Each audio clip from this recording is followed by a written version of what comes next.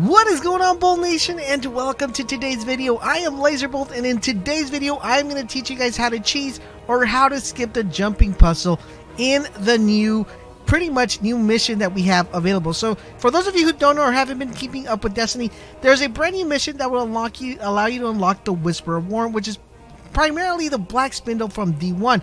And boy, is the gun really, really good. I have a video showing you guys exactly what you'll need to do in order to complete this mission. So you guys definitely want to check that out if you guys don't know exactly how to do it. But in today's video, I'm going to show you guys exactly how to skip the jumping puzzle. It's going to be super, super easy.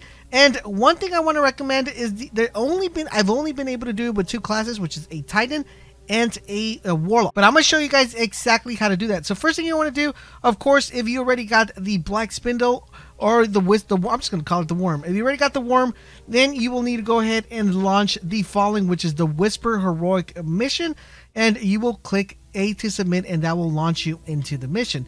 Once you're in the mission, you will then be able to do the jumping puzzle. So I'm to give you a couple of pointers. One thing that you're to need is, of course, you're to need a sword. A sword is to be a requirement for you to do this because we are to sword swipe our way across this. Now, if you're running on a warlock, you're going to want to do the Dawn Blade. And you want to make sure that the Dawn Blade has the upper tree selected because it's going to allow you to do the B dash and it's going to let you get to the edge. So that's going to be the way you're going to be doing with the Dawn Blade. Now remember, if you are a Warlock, you're going to have to wait till your super charges. A super takes between 2 to 3 minutes in order to charge. Now you're probably wondering, why do I want to waste 2 to 3 minutes to actually complete the jumping puzzle? A lot of people are having a hard time completing this jumping puzzle. So this is going to be an effective way for a Warlock to skip it and not have to worry about platforming if they're having issues. If you're not having any issues, then if you're a Warlock, you might want to do it the regular way. But if you are a Titan, this is when it, things become really helpful because with a Titan, you could skip the jumping puzzle right off the bat. If you're a Titan, you're going to want to have the Lion Rampant equipped, plus you're also going to want to have your sword. Now remember that the Lion is going to allow you to you know improve your jump ability and make you have more aerial movement, and it is going to let you get across the map fairly easy.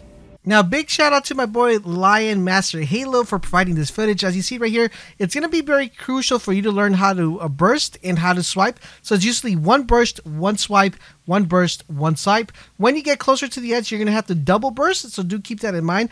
One thing I do want to point out for you guys, though, you guys are going to want to have the Lions equipped as your exotic boots, because this is going to allow you to have better aerial control and better aerial movement. Once you guys get to the portion of the map where you have to go through the little, the, like the little thingajinger, you're going to want to sword swipes in case you missed it. Now, for this part right here, my biggest suggestion is if you're in Warlock Heart of Titan, Make sure you guys are always pushing your thumbstick to the right hand side so you guys won't slide down without a problem.